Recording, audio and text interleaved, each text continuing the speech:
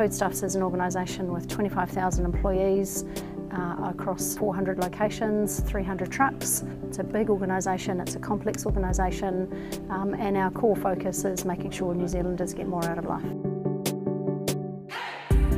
Foodies does safety well. We strive for the best, we don't take risks where we can avoid them. We output food to all across the North Island and if that doesn't happen, people are going to know about it. When I first arrived there was a lot of frustration about the safety management system that we were using. Um, everybody was doing their own thing. We didn't have a uh, system in place that was universal for everybody to use. No one source of truth.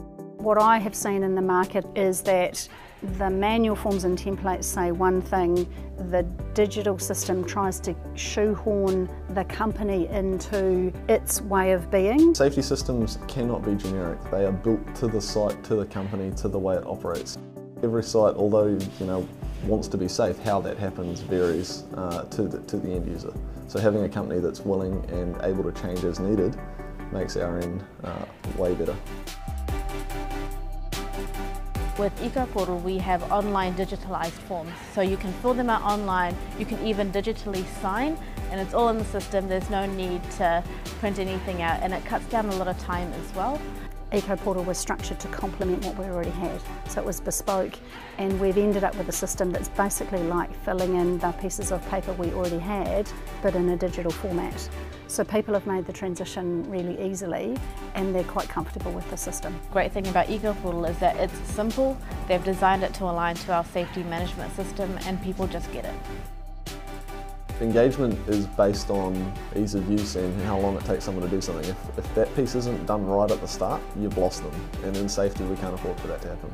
We pretty much say if you can use Google, you can use EcoPortal. It's that simple. It's colourful, it's vibrant, it's not dreary or bland. It's designed for the end user. It's, you know, there's prompts on questions if they're not sure on anything. It's my role to keep compliance and meeting the regulatory requirements in the background so that we do that but not that that becomes the overbearing sort of responsibility. The engagement from the team on the ground floor where it's needed is, is amazing and being able to identify and cross-reference concerns that are, that are happening on this site and being able to engage with other sites to, to make sure that these commonalities are not affecting it. The system is live and you don't need to worry about, you know, is this data from yesterday?